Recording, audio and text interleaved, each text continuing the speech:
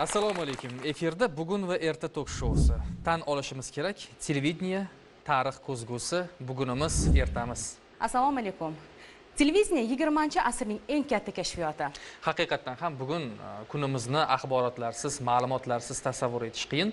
Tan olib aytishimiz kerak ijtimoiy tarmoq ularning asosiy manbasi. Lekin baribir televideniyening o'rni bor uning buguni bor va uning kelajagiga ham biz ishonamiz hayotimizni yumshoq mebellarsiz internet tizimisiz yoki mashinasiz tasavvur qilishimiz mumkin. Lekin televideniyasiz aniqroq aytadigan bo'lsak e, televizorsiz tasavvur qilishimiz qiyinmi aziz to'ppa to'g'ri aytasiz. Bugun televideniyaning oltmish besh yilligiga bag'ishlanadigan ko'rsatuvni e'tiboringizga taqdim etish niyatidamiz. Studiyamizda mana shu dargohning haqiqiy jonkuyarlari haqiqiy yulduzlari tashrif buyurishgan va bizni ijodiy guruhni hayajonini hozir tasavvur qila olmaysiz.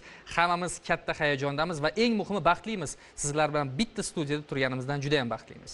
Albatta hurmatli ustozlar biz sizlarni hali hanuz juda ham yaxshi eslaymiz e, qadrlaymiz va hurmat qilamiz. Ha endi televideniye tarixi haqida ikki og'iz ma'lumotlarni taqdim etishimiz kerak. Albatta tarixga nazar soladigan bo'lsak o'zbekistonda aniqroq aytsam toshkentda bir ming to'qqiz yuz yigirma sakkizinchi yilda olamshumul voqea yuz bergan. O'zbekistonlik ixtirochilar boris pavlovich grabovskiy va ivan filipovich belyanskiylar elektron nur yordamida harakatdagi tasvirni bir joydan ikkinchi joyga o'tadigan qabul qiladigan radio telefonni kashf etganlar. Demak sayyoramizda insoniyat yaratgan mo'jiza televideniya o'zbekiston poytaxti toshkentda yaratilgan. Oradan roppa rosa yigirma sakkiz yil o'tgach toshkent telemarkazi tajriba tariqasida bunyod etildi va bu tajriba o'zini hali hanuz oqlab kelyapti. Bundan juda yam xursandmiz. bir ming to'qqiz yuz ellik oltinchi yil beshinchi noyabr o'zbekiston televideniyasi tarixida o'chmas iz qoldirgan sana. Albatta studiyamizga kelgan mehmonlarimiz o'sha kunni hayajon bilan eslashsa kerak va bilishadi. Har holda ular ilk efirlarda ishtirok etmagan bo'lsalarda lekin o'sha kunlarni juda bir yaxshi xotiralari bilan eslashadi va guvoh bo'lishgan o'sha kunlarga. To'ppa to'g'ri eng avvalo so'z navbatini o'zbekiston respublikasida xizmat ko'rsatgan madaniyat xodimi mirabbos mirzahmedovga bermoqchiman. Mirabbos aka to'g'ridan to'g'ri efirlarda o'sha yillarda bundan yarim asrdan avval ishlagan inson sifatida qanday xotirlaysiz? Televideniye man o'sha ish boshlaganimda yangi ochilgan vaqt edi. Shu o'qishga borib yurganimizda chaqirishardi kelardik. Hamma jonli bo'lardi. Endi jonli bu dahshat jonli. Masalan hozir adashib qolsangiz yana qayta olish mumkin. Yo mana bu so'zni noto'g'ri aytdingiz mana bunaqa aytsangiz kerak edi deb aytishi mumkin ijodkorlar. Siz o'shani aytasiz endi u vaqtda qanaqa gapirsangiz ketaveradi yaxshi gapirasizmi to'g'ri gapirasizmi talaffuz noto'g'ri bo'ldimi to'g'ri bo'ldimi ketaveradi lekin shunga qaramasdan o'sha vaqtda ishlaganlar mehr muhabbat bilan ishlagan. Endi birinchi boshlanganda ikki soat efirga berilgan. Bor yo'g'i ikki soat o'sha siz aytgan o'sha beshinchi oltinchi noyabr kunlari ikki soatgina efirga berilgan. Eh, keyin keyin ko'paygan bitta kanal bo'lgan u vaqtda o'zbekiston kanali. Eh, keyin keyin ko'paygan yoshlar kanali bo'ldi toshkent kanali bo'ldi. Keyin mana hozir e'tibor bergan bo'lsangiz eh, xususiy kanallar ko'payib ketdi. Endi musobaqa cheksiz. Odam qaysi birini ko'rishni bilmay qoladi. Man istardimki bizni ko'rsatuvlarni tomosha qilgan odam o'sha asar bilan yashash kerak. Mayli kamida bir oy yashasin. O'sha quvonchsin xursand bo'lsin ho'ngrab yig'lasin dasturmonlari ho'l bo'lib ketsin. Mayli lekin tomoshabinni bir tarbiyalayapmiz u shu tarbiyalayapmiz shuning uchun zo'r bo'lishi kerak. Man televideniyega bo'sag'asiga qadam qo'yganimga oltmish yildan oshibdi. O'zimiz tarixga aylanib qolibmiz tarixiga o'zimiz televideniyani tarixiga aylanib qolibmiz albatta haligi mirabbos aytganlaridek birinchi paytlarda bitta programma bo'lardi toshkent televideniyasi keyin yoshlar qo'shildi. Keyin toshkent va toshkentliklar undan keyin sport programmasi. Mana shu to'rtta programma bir necha yillar faoliyat ko'rsatdi. Keyin keyin televideniyani faoliyati boyiy boshladi. Televideniyega eng yaxshi rejissyorlarni taklif qilishgan masalan teatr muqimiydan yo markaziy televideniyadan hatto kelib bizga saboq berishardi. Keyin keyin ko'p biz masalan suxandonlar ham u paytda sal tanqisroq edi o'ktam aka jobirov ra'no madrahimova nasiba ibrohimova boshqalar shu bitta suxandon bir nechta ko'rsatuv bo'lsa bir kunda ho siyosiy ko'rsatuv ho qishloq xo'jaligi ho lirik konsert hammasini o'sha diktor olib ketishga majbur edi beshtalab oltitalab bir kunda ko'rsatuv olib ketardik biz ubay burxon bilan lirika kechasini o'qiy boshladik Ha, bitta g'azalni ubay akam o'qirdilar bitta g'azalni man o'qirdim orasida konsert ketardi. Keyinchalik qodir aka mahsumov o'zbekiston xalq artisti u kishini g'azal o'qishlarini juda yaxshi biladi xalq. Mashrab lirikasini ikki soat davomida o'qibmiz lirik ko'rsatuv. Qarang vaqtlar ham bemalol ekan shekilli.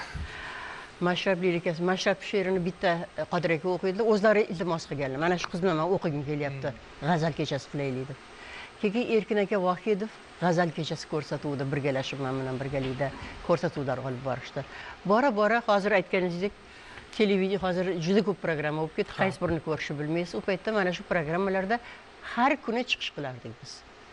Undan buyoq albatta texnika kuchlik jurnalistlar kuchlik talab kuchlik bundan ham katta eshittirishlar bo'ladi degan umiddamiz. Ra'no opa endi bevosita sizga yuzlanmoqchiman. O'sha televideniyaning dastlabki yillarida tomoshabin uchun rejissyorlar operatorlar ya'ni tasvirchilar ovoz rejissyorlar degan tushuncha bo'lmagan. Ular faqat diktorlarni tanishgan. Keyin o'sha bir diktorlik faoliyatingizga bir nazar solamiz hozir. Eslaymiz o'sha davrlarni. Man o'zi o'zbekiston televideniyasiga kelganimda bizning televideniye yigirma yoshga to'lgan payti bo'lgan man o'sha paytda o'ylaganmanki televideniye ming yil ishlayapti deb o'ylaganman. Chunki juda ishlar butun ko'rsatuvlar mustahkam ketgan payti bo'lgan. Va televideniyaning diktorlari u paytda sanoqli bo'lardi. Shu galina vitalyevna melnikova nasibam ibrohimova nasiba opam qambarova e, ra'no opam madrahimova e, davron akam zununov bizni ustozimiz o'ktam akam jobirov e, shular bo'lishardi. Bir qandaydir bir guldasta edida kelgan paytim kelib to'g'risini aytsam shundoq og'zim ochilib qolgan kimlarni orasiga kelib qoldim deb. Endi chunki e, birinchilardan man kelganman ulardan keyin. Ko'rsatuvlar haqiqatdan jonli ketardi lekin men aytishim kerak jonli efir bu hammani tarbiyaladi. Shunday bir insonlar bo'lardiki diktorlar e, xonasiga kirganingizda kayfiyatingiz bormi yo'qmi shu insonlar shu kayfiyatingizni ko'tarib berardi. Shu misol nasibam maqsudov rahmatli aka mirzoyev e, kayfiyating yo'q e, keyin bir latifa aytib beraman deb birdaniga hammani kayfiyatini ko'tarib beradilar. Kim kirmasin kim rejissyorlarmi operatorlar bo'ladimi boshqami? Bir ajoyib bir betakror inson shu rahmatli aka mirzoyev bir odatlari bo'lardi doim harakatda. Shu nima g'aming bor? A endi shu bir ozgina bir qo'shimcha misol uchun bir qo'shimcha ish axtarib yurgan edim. Ha shunaqami? deb bo'ldi. Shundan bir bir ikki hafta o'tardi birdaniga alish deb bir telefon qilib qolardilar. Ha palonchi soatga palonchi odamga uchrashgin man gaplashib qo'ydim. Yuz foiz mana shu ish san uchun bo'ladi. Bir ajoyib inson bir hozirgi zamonda hozir tezkor zamonda hayron bo'lasiz o'zinglar ham mana e, guvohsizlar bir- biron bir narsaga erishish uchun kimnidir bir iltimos qilsangiz u vaqti bormi yo'qmi ba'zida xijolat qilib qolasiz ba'zida bir erish bo'lib tuyuladi.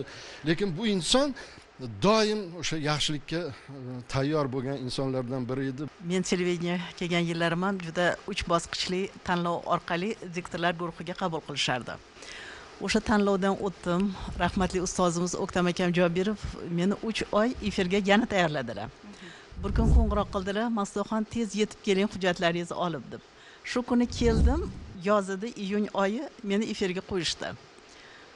Keyin endi e, hamma deyarli ko'pchilik diktorlar yozgi ta'tilda ertalab televideniyaga kelaman ertalabki programmani ochaman keyin yakunlayman. O'rtada bir ikki soat vaqt o'tadi keyin kechki ko'rsatuvlar boshlanadi. Kechki ko'rsatuvlarni o'n ikki birda yakunlayman. Shunaqa qilib oila davomida shunaqa qilib ishlab yuraveribman. Bir kuni o'ktam akam keldilarda mastoxon bugun sal vaqtliroq ketasiz e, programmani man o'zim yopib qo'yaman deb aytdilar. Xursand bo'lib ketdimda ko'chaga chiqdim. Ko'chaga chiqsam shundoq dimog'imga kuzi hidi urildi. Demak yoz fasli o'tib bo'libdiki man sezmabman. Chunki ertalab kirardim televideniyaga kelardim kechasi yarim kechada ketardim. Shundoq kuzi hidi urildida man aytdim yo tavba kuz fasli kelib qolibdi televideniyaga qachon keluvdim deb shu darajada biz haligi televideniyaga qadam qo'yganimizdan ishga fidoyi bo'lganmiz. Man istardimki hozirgi yoshlarni ham ana shunday fidoyilari kelsin televideniyaga hamma yoshlarga omad. Mana shu televideniyaning oltmish besh yilligi arafasida bizni diktorlar guruhida ham juda ajoyib xayrli ish amalga oshirildi. Ya'ni e, biz e, diktorlar guruhimiz ya'ni xonamiz haliyam o'sha uchinchi qavatda mtrkda e, eski axborot ro'parasida joylashgan. Biz uni kichik fotomuzeyga aylantirdik. U yerda birinchi kelgan ya'ni o'sha ilk televideniye boshlangandan ishlashni boshlagan diktorlardan bugungi oxirgi kelgan diktorlarimiz ya'ni oxirgi kelgan diktorimiz agar adashmasam dildora qayumova bo'lgan har birlarini rasmlarini ilib chiqdik. Buni eshitib juda ko'p kanallardan kirishdi tomosha qilishdi xursand bo'lishdi. Konkurs e'lon qilingan bir ming to'qqiz yuz sakson sakkizinchi yilda ra'no jo'rayeva o'sha konkursda badiiy kengashi raisi bo'lganlar ra'no opa o'shanda konkursdan o'tgan paytimda ra'no opamda birinchi bo'lib bizani tanlab olganlar shuhrat qayumov irina abramova dilfuza yusupova to'rtta lo'zani tanlab olishgan. Bu ishda avvalambor bu ishni sevganlar va bu ishga fidoyi bo'lganlar butun vujudi bilan ishlasa albatta o'sha o'zi bergan mehri o'sha ishiga bergan mehri albatta boshqalardan shu mehrni ko'radi deb o'ylayman chunki haligacha qayerga borsa ham biz sizlarni juda yam yaxshi ko'ramiz sizlarni televizorda ko'rganimizda o'sha televizorga yugurib kelardik sizlarni ko'rish ha o'sha televizorda chiqishinglar bilan shu televizor oldiga yugurib kelardik degan gapni haligacha maktabga borsam ham ko'cha ko'yda ham eshitganimdan juda yam xursandman shu o'rinda miraziz rafael aka kamonovga bir e, fikrlari esimga tushib qoldi. Ular aytgandilarki bir intervyularda biz uchun kameralar aziz shu sabab yelkamizda ko'tarib yuramiz degandilar. Intervyuni olishga olishdi. Keyin kelib o'zimni fikrimni aytdimda kamera bu mani sevgilim man uni e'zozlab yelkamda ko'tarib yuraman dedim. Endi televideniye ochig'ini aytganda manda bir taqdirim ham bo'ladida. Bolaligimdan onam mani mana shu shayxon to'g'ridan to'rt mana shu tomonga olib kelardi. Manimcha yo konservatoriyani o'rnay yo o'zimizni media markazi o'rnasa. O'sha yerda artel bo'lardi. Bosh kiyimlar artel. O'sha yerda ishlardilarda. Endi bog'chaga bormaganim sababli mani ishxonaga o'zi bilan birga olib borardida. Televizion oldidan o'tayotgan paytda uyda ko'rgan televizorda ko'rgan narsalaring hammasi mana mana shu yerdan beriladi endi mani ham fikrimda bundoq qaraganda klara jalilova kamuna ismoilovalarni konsertlarini ko'rardikda и o'shalar demak shu yerdan ko'rsatilar ekan deydigan fikrga keldim. Rahmatli mirzohid rahimov o'n e, ikkinchi aprel kuni e, kosmonavtika kuniga tekst o'qiyapti u yerda kino tasvir ketyaptida kino tasvir ketyapti she'rni o'qidi deb bitta joyga kelganda ich ichaver aziz birodar deb o'qib yuborib o'zi jim bo'lib qoldi. Sezdiki noto'g'ri o'qiganini yaxshi ham hali o'zi kadrda emas kino tasvir ketyapti u yoqda. Keyin to'g'irlab ketdi. Uch uchaver aziz birodar.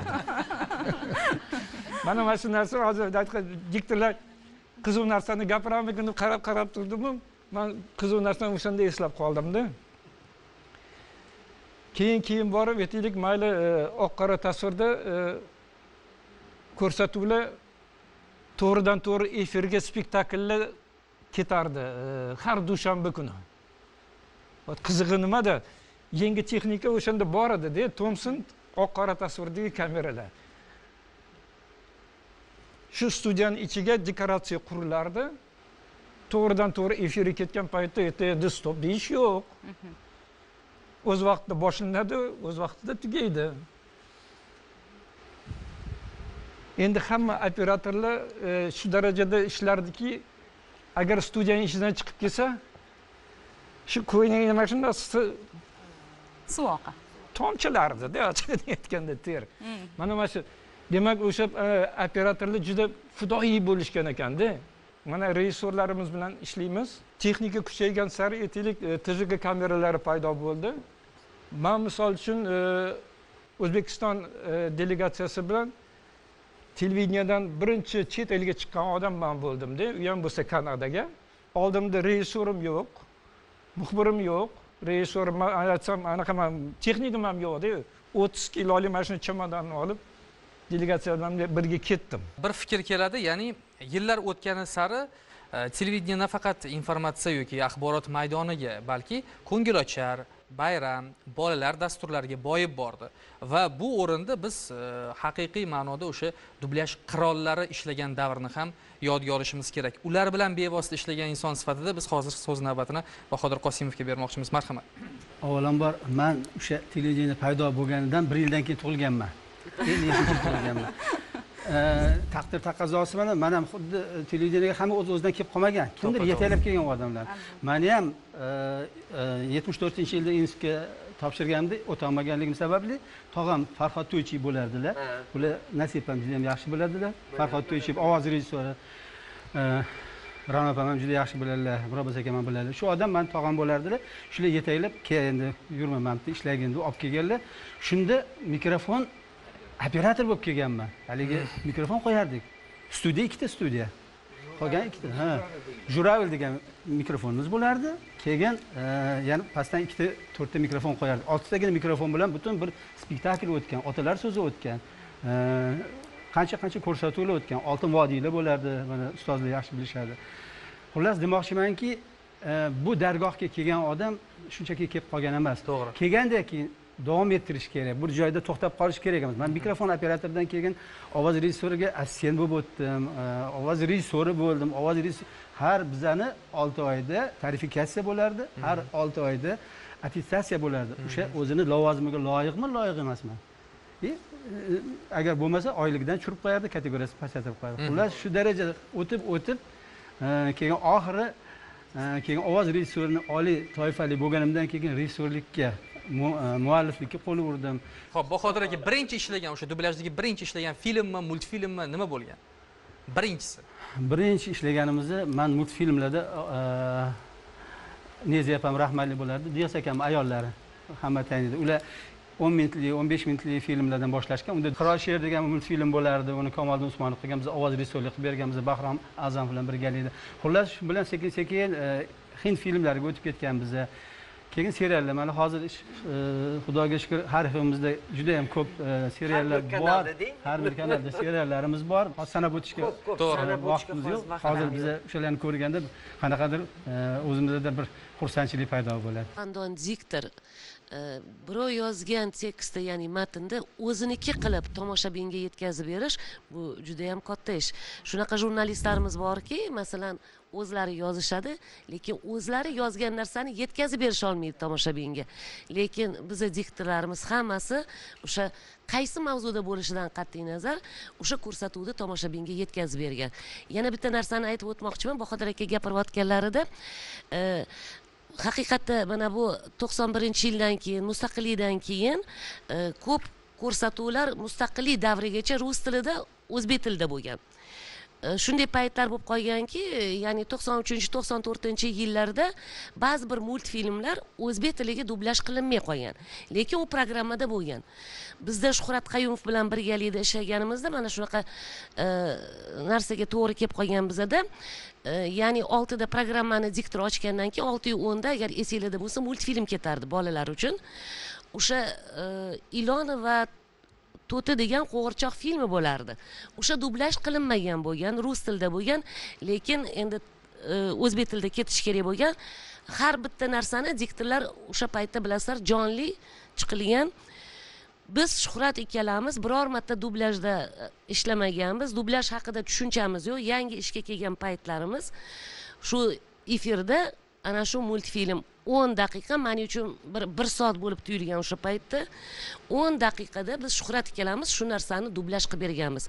Aytmoqchimanki bizani diktorlarimiz e, har taraflama hamma narsaga tayyor bo'lgan и bizda ham shior bo'lgan. Diktorlar guruhida biz o'zimizga o'zimiz пожарный deb nom qo'yib olganmiz. Chunki hamma narsaga hamma vaqt diktor tayyor bo'lgan. Tohir aka sizni bilamiz televideniyega kelgan ilk yillardayoq siz e, bolalar bilan ishlagansiz. Marhamat so'z sizga. Mana qariyb oltmish yildan beri xudoga shukur shu yerda xizmat qilib kelyapman. Xizmat qilgandan keyin bolalarga xizmat qildim. Bolalar juda beg'ubor. U yolg'onni e, ularda yolg'on yo'q. Shuning uchun beg'ubor bolalikka xizmat qilish bu juda katta savobli ish bundan qaraganda mana ko'rsatuvlarda mana svetofor ko'rsatuvini olib bordik qirq besh yil. Ko'rsatuvda bolalarni yo'l harakati qoidalarini o'rgatdik.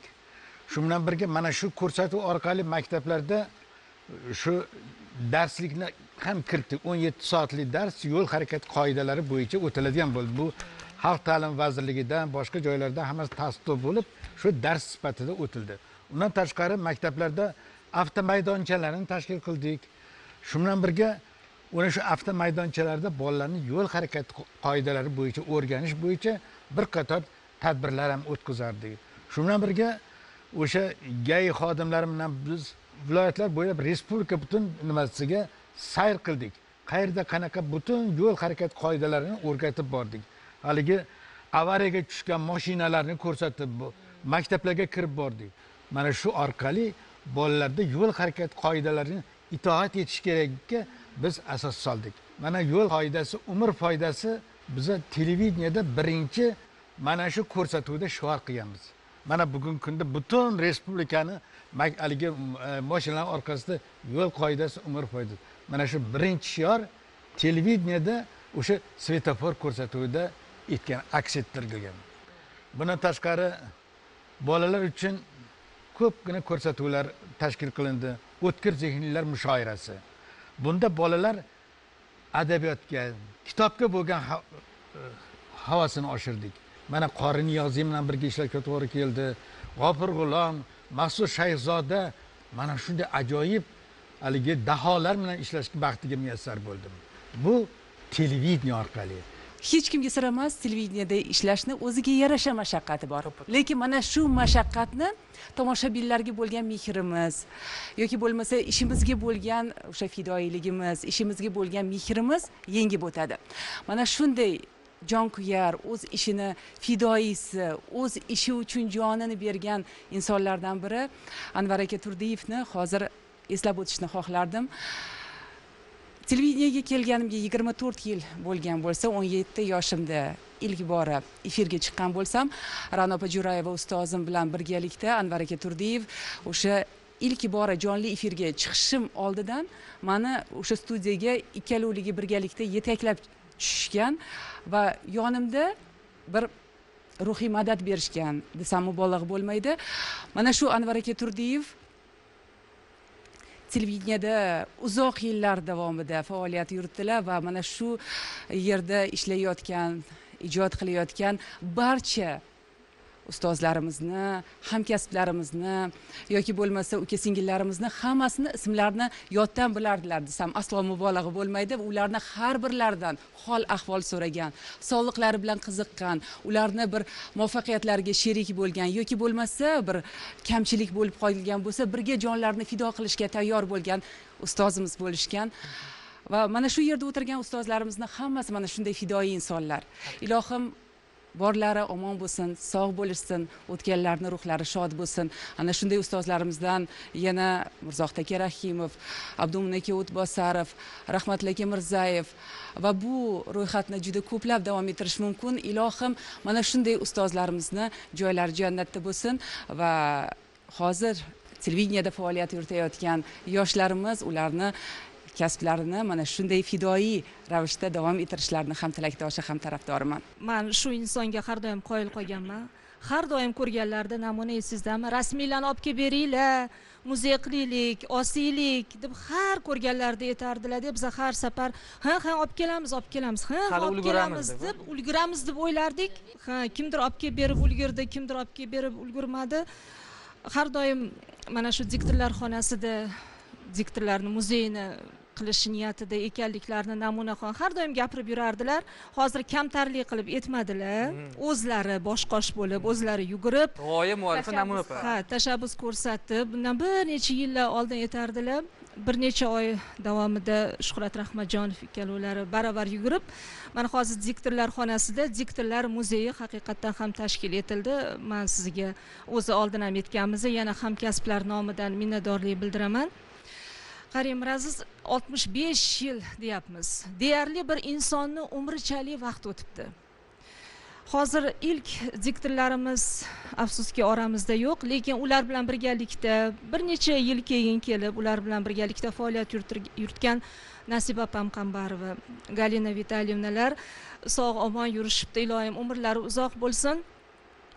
Men e, shular bilan hamkasb bo'lganimga shular bilan birga bir e, havoda nafas olib ishlaganimga judayam xursandman. Ilohim mana shu yerda o'tirgan har bir hamkasbimiz sizlar hammamiz hammamiz ilohim o'zbekistonda televideniya tashkil topganligining yuz yilligi munosabati bilan uchrashib mana shunday davralarda ishtirok etishimiz nasib etsin. Rahmat. Haqiqatdan ham a, katta harflar bilan yozilishga arzirli yulduzlarni kashf etgan u yulduzlar hamon porlamoqda. Hech qanday mubolag'asiz hech qanday qo'sh tirnoqlarsiz aytishimiz mumkinki bu yulduzlar hali uzoq bizni yo'llarimizni yoritib turishadi. Va shaxslar bilan birgalikda haqiqatdan ham mirabbos aka siz aytganingizdek o'sha ko'rsatuvlar ham e, xalqni dilidan ko'nglidan qalbidan joy egallagan mana bitta yorqin misol otalar so'zi aqlning ko'zi bo'lsa yana bitta misol bu keyingi dekadalarda ya'ni mustaqillikdan keyingi dekadada e, efir yuzini ko'rgan azizim ko'rsatuvi bo'ladi. Biz hozir so'z navbatini umida usmonovaga bermoqchimiz. Marhamat. Televideniya nima degan savolga yana javob beradigan bo'lsak televideniya bu tarbiya minbari deb o'ylayman. Chunki mana shu diktorlarimizni chiqishida ham jurnalistlarni so'zida ham jumlalarimizni e, adabiy tahlilida ham e, milliy so'zlarni ishlatilishi eh, internatsional so'zlarni chiroyli ishlatilishi o'rnida o'rnatilishi hamma hammasi bu tomoshabinga tarbiya. Tarbiya. Biz bu yerda ishlagan ishlayotgan va kelajakda ishlaydigan insonlar savodxon bo'lishimiz shart. Har jihatdan har jihatdan tashqi ko'rinishimizda avvalo ruhiyatimizda eh, ilmimizda ikki dunyo ilmida ham hattoki umuman tomoshabin bizdan o'rganishi kerak. Man har doim shunaqa deb o'ylaganman. Keyin bu yerda ko'pchilik o'zini televideniyaga kelish tarixini aytib berishdi bu juda yam qiziq. Lekin eh, man o'zim kelishimni aytmasdan eh, aytmoqchi edimki bu yerda bu qanaqadir kelib qolish bu o'z o'zidan bo'lmagan. Diktorlar ham yana aytaman operatorlarimiz ham video injenerlarimiz rejissyorlarimiz ular o'zidan o'zi kelmagan bularni qalbida shunaqa missiyasi bor missiya bu xizmat qilish ya'ni xalqqa xizmat qilish aytadigan gapi bor. Shu kelgan odam mayli diktorlarni xafa bo'lishmaydi biz aytamiz yozib bergan gapingizni o'qiydi deb aytganmizda to'g'risi ham. Baribir ham e, jurnalistlar bu yerda qalamkashlar e, tahrir qilib beradi.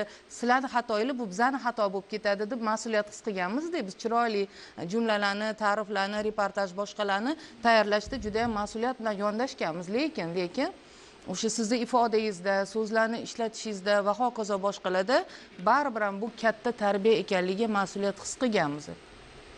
Endi e, tarbiya minbari deganimizda biza har bir e, aytgan gapimiz tomoshabin nima kutadi? Nima kutadi? Bilmaganini bilishni xohlaydi. Man o'shaning uchun hamisha endi azizim ko'rsatuvi bir oddiy ko'rsatuv haqiqatda hijolat bo'lganman o'n besh yil efirga ketgan bo'lsa e, juda hijolat bo'lardim. Shu yigirma besh minut bo'lgan o'ttiz minut bo'lgan shu har bir minutida bekor ketkazmayapmanmikin tomoshabinni vaqtini bekor olib qo'ymasmikinman? Mana shu gap kerakmikin? Shu intervyularni tanlab tanlab montajlarda qolib kerak gapi mana shu gap kerak edi qanaqa qilib sig'dirsak ekan qayerdan olib tashlasak ekan mana shu gap kerak edi. Endi aslida u gap kimga kerak? Nima uchun biz shunaqa jon kuydirganmiz? Chunki bizani hammamizni qalbimizda missiyamiz borki o'sha maqsad bor. Man shunga xizmat qilishim kerak. Meni umrim shunga fido bo'lyapti. Mana otalar so'zi aqlni ko'zimi boshqa ko'rsatuvlarmi hammasi insonlarni umrini egallaydi. Ya'ni biz o'g'irlaymiz qo'pol aytgandada biz shunga ega chiqyapmiz. Endi biz uni suiiste'mol qilib bo'lar bo'lmas uzr endi. Yengil yelpi narsalar yoyinki manfaatsiz narsalarga ishlatishga haqqimiz yo'q deb o'ylaganman shu fikrda e, qolaman hamisha shunaqa bo'lishi kerak deb o'ylayman. Bu yerda hozir imkoniyatlar cheksiz haqiqatda. Biz ishlagan davrdagi degan mana shu kameralarni olamizmi texnikani olamizmi bugungi kungi texnika imkoniyatlar bu judayam judayam nima deydi? Bizga erkalanib bor kuchimiz bilan ishlashga imkoniyat va e, sharoit. Buni bilish kerak. Oldin qiynalib qilgan ishlarimiz bugun o'ynab kulib amalga oshirishimiz mumkin lekin hamma narsa mag'zida deb o'ylayman. Mana e, nasibaxon opamizni g'azal kechalari biza bolaligimizda mana tohir akam aytgan bu tarbiyalagan. Rostdan svetofor ko'rsatuvlarini ko'rardik boshqa ko'rsatuvlarni. Albatta bu ko'rsatuvda hamma aytganlaridek mahallada hech kim qolmasdi.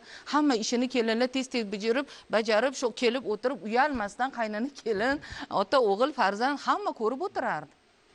Bizni e, mana baribir yuzi ko'zi degani bu diktorlarimizda. Bularni o'zini tutishi soch turmaklari ovozlari o'zini qo'yishi hamma hammasi ibrat haqiqatda o'xshashga harakat qilinardi bugun afsuski bunga ozgina e'tibor kamayib qolyapti. Man xohlamasdim chunki balki millatparvardirman balki bilmadim qanaqa. Milliy qadriyatlarimiz qolishi kerak deb o'ylayman. Qolishi kerak. Mayli ko'rinishimiz boshqacharoq bo'lsa ham qalbimizda o'sha e, o'zbekligimiz o'zbek ijodkorligimiz o'sha missiyamizni bajarayotgandagi maqsad yo'nalish hammani yo'nalishi har xil. Hamma o'zi eplagan jihatidan olib borganmiz shuni. Lekin mana shu e, yirik e, yaxlit bir organizm bir xil e, yo'nalishda bir xil tomonga qarab ketish kerak deb o'ylaymanda. Mirobbos aka shunga kuyib pishaman. Hozir e, xursandman. Mana e, avvalo taqdirim shunaqa katta jamoaga qo'shilganidan odamlar kutadi televideniyaga mana televideniyaga u yerdagi insonlarga bir najotkordek do'stdek hasratdoshdek uni ko'nglini tushunadigan odamdek qaraydida shunaqa bo'lishi kerak aslida. Shunchaki ko'rib ketaveradigan mana seriallar masalasida ham ochig'i man ko'rmayman seriallarni hozir. Nega? Chunki aytganlaridek o'xshashlik ko'p. Keyin o'sha konfliktlarni nizolarni ko'rsatsak qiziq bo'ladi tomoshabin ko'payadi degan noto'g'ri fikrlar bor. Qani ibrat? Azizimda asosan e, ko'rsatganim ibratli insonlarni ko'rsatib o'zim maza qilganman. O'zim avvalo tarbiyalanganman. Qara shu sabr qilyapti qara shu shunaqadan o'tdi qara shuni ilmi bor ekan. Nega san qilolmaysan deb o'zimga o'zim gapirganman. Va o'zim bugun nimaga erishgan bo'lsam oilam farzandlarim nabiralarimiz qanaqa bo'layotgan bo'lsa o'sha jarayonni foydasi manfaati bor deb o'ylayman va buning uchun rahmat deyman man siz ta'kidlab o'tgan o'sha doimo kerakli bo'lish har qadamda sizni so'rashi har qadamda sizga suyanishi kerak bo'lsa maslahat olishi bu hozir ham davom etyapti. Biz hozir so'z navbatini mustahkam bir ko'prik deya ta'riflaydigan bir insonga bermoqchiman. Komil toshmatov bir necha yillardan beri mana shu televideniyada ishlab kelyapsiz. Mana shu ustozlar bilan ham ishlagansiz bugun yoshlar bilan ham ishlayapsiz. Menimcha sizda ham aytar so'zlar bor. Marhamat. Rahmat avvalambor shu ko'rsatuvga taklif qilganinglar uchun sizlarga kattakon rahmat. Man ham shu e, televideniyega kelganda bizani konkurs asosida ishga qabul qilishgan. Biza yigirma kishi kelganmiz shu konkursga shundan olti kishi o'tganmiz.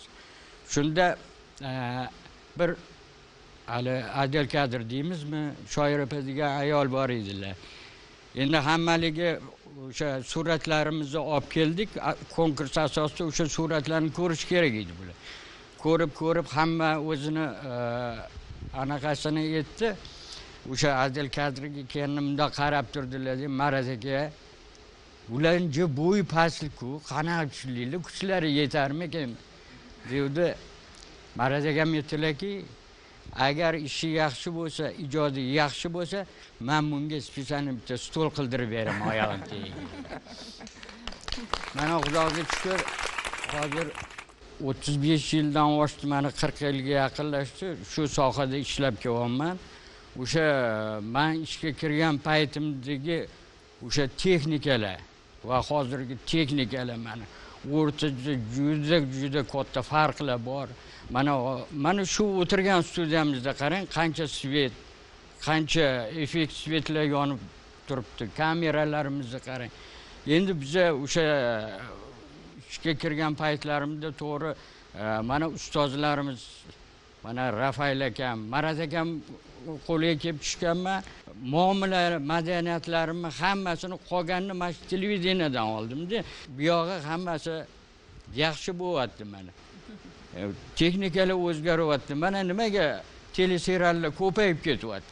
Teleseriallar ko'payishi mana texnika yengil bo'lib qoldida kichkina kamera kichkina svetlar oldin bitta e, studiyniy spektaklni olish uchun studiyada spektakl. Ikkita sahna yozadigan bo'lsangiz bitta sahnaga svet qo'yib ikkinchisiga ertagisiga o'tib ketilardi. Ertaga kelamiz ertaga yozamiz. Endi agar shu kuni yozadigan bo'lsak svetlarni mana rafail akam juda ko'p spektakllarda ishlaganlar konsertlarda birga ishlaganman.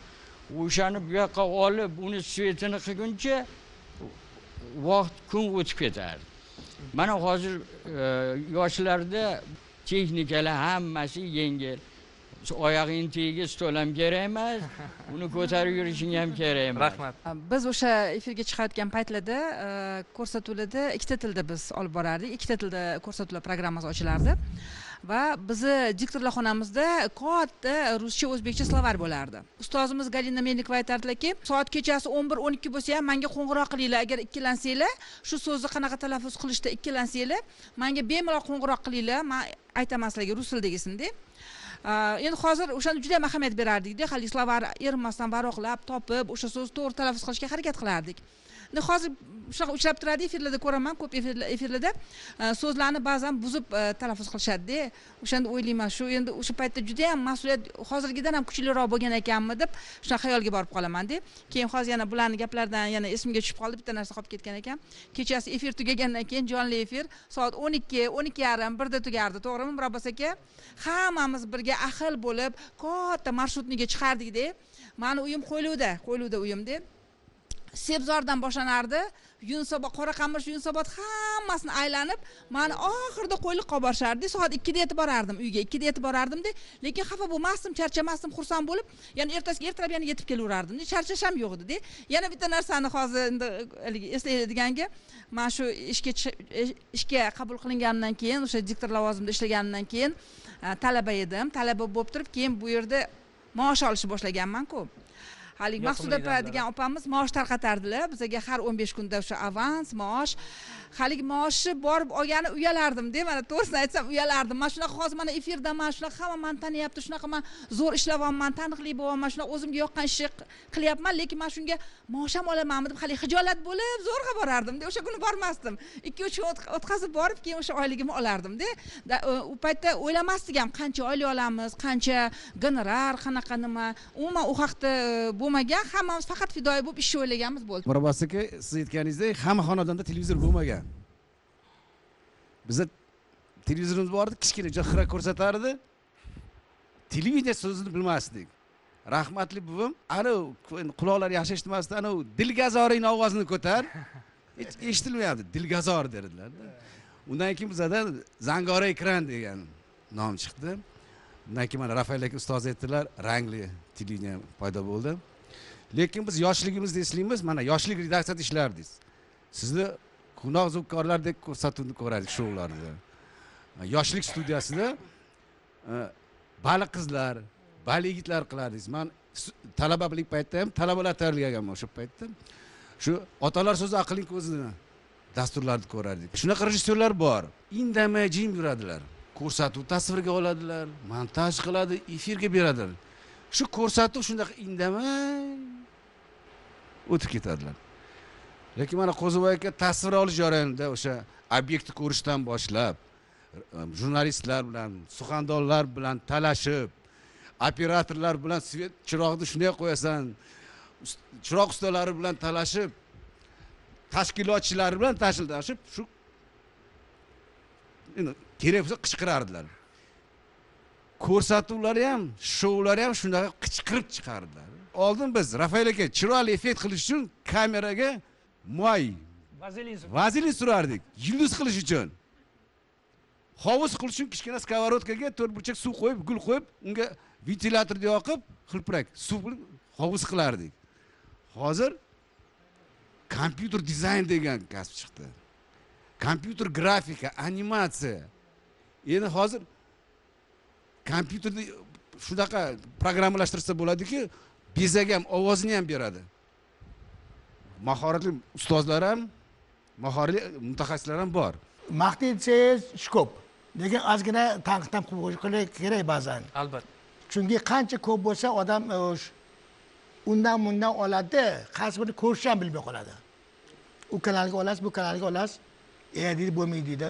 Yoki bitta odam hammasi unda ham chiqaveradi bunda ham chiqaveradi u ham bo'lmaydi. Lekin bitta g'oyani o'sha ko'rsatuvni o'zi berish kerak. Boshqa ko'rsatuv boshqa g'oya berish kerak. Endi bizda hozir nima bo'lyapti?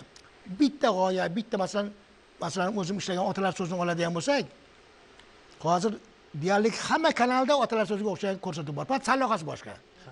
Ichi bir xil.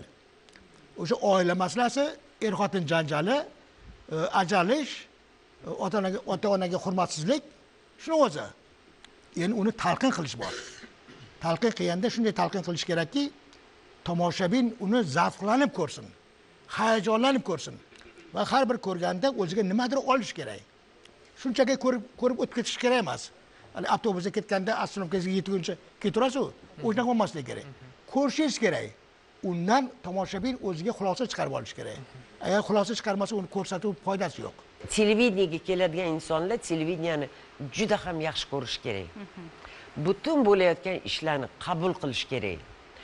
Va istardimki juda iste'dodli e, juda talantli insonlar kelsa deb bizni o'rnimizni mustahkam egallaydigan yoshlar kelsa deb o'ylayman. Bugun sizu biz taraqqiy etgan zamonda yashayapmiz. O'sha uyingizdagi oddiygina qutichani yaralish tarixidan to buguniga qadar katta tarix bor. Mehnati unutilmaydigan ustozlarimiz bor.